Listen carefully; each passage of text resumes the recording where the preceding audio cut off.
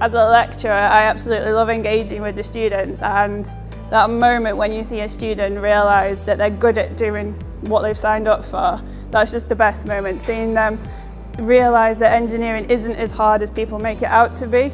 So engineering is often sold as, oh, it's really hard, it's physics and maths. No, it's not. Engineering has an impact. We're bringing all our sciences together to try and help people. So the moment when students realise that that's what it's about and they can do it, that's really the best bit of my job.